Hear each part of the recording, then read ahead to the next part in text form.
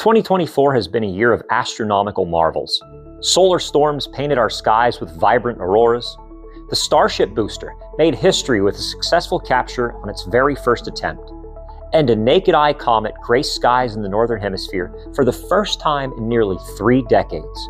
And all of this happened within a two week period in October. Space is back in the spotlight, capturing the imagination of students across the nation. At Mount Carmel area, we're channeling this enthusiasm through a piece of timeless technology that has been inspiring minds since the Apollo era.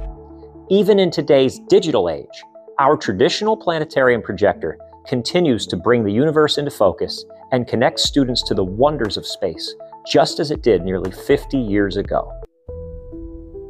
This is the Spitz A3P Mechanical Planetarium Projector. It's one of over a thousand A3Ps produced and sold to schools and universities. First debuting in the 1960s, it's become the most popular commercial planetarium projector in the world. Unlike more modern digital systems, this projector relies on intricate mechanics to simulate the night sky in stunning detail. It can model Earth's rotation, revolution, and precession. We can adjust our viewing direction and latitude, cycle through the phases of the moon, and track the annual motion of the stars and planets. With the turn of a few dials, the dome transforms into a dynamic coordinate system, allowing us to locate celestial objects. For its time, this was an incredibly advanced piece of technology, and even today, its precision engineering continues to amaze me. In a digital age, students are still captivated by its ingenuity and nostalgic charm. Of all the lessons I've taught, Nothing compares to the moment when students look up and see the star dome for the very first time. Thousands of twinkling lights dancing in a cosmic rhythm. The vastness of the universe comes to life above you, inspiring awe and curiosity with every glance. You begin to realize just how small and inconsequential the Earth is in the grand scheme of things. But our planetarium sessions involve more than just stargazing. It also includes interactive learning experiences Using a variety of digital resources, we project stunning visuals of the cosmos on our 24 foot dome in full HD, providing engaging commentary to deepen students' understanding of the universe.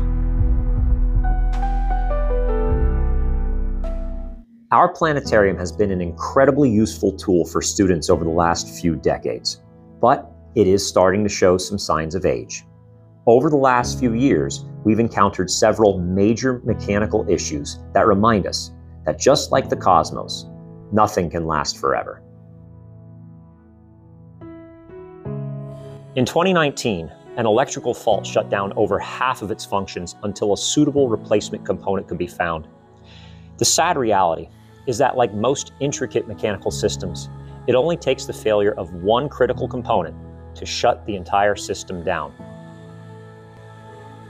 In many ways, our planetarium is operating like the Voyager spacecraft, ironically launched the same year that our high school opened.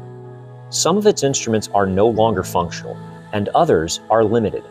But it keeps going, and its core mission remains the same to educate us and remind us that even aging technology can have a profound impact. But, like Voyager, we know that its operational life will eventually come to an end.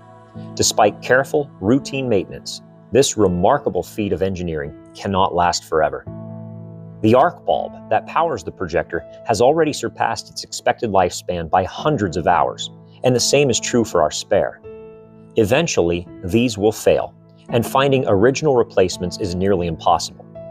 One option for the short term is to upgrade to LED bulbs, which will improve the efficiency of the system and possibly extend its life. But in the long term, even those won't be enough.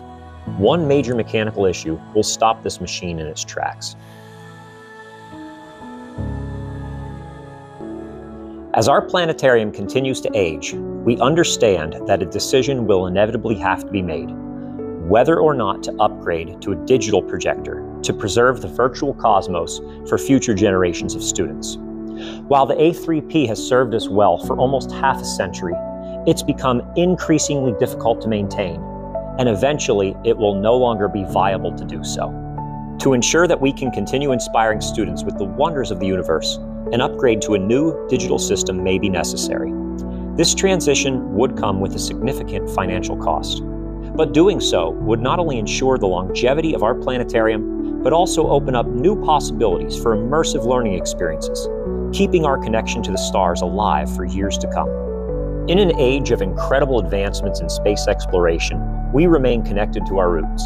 Our planetarium may be a product of the Apollo era, but its purpose is timeless to inspire, to educate, and to ignite wonder about the universe.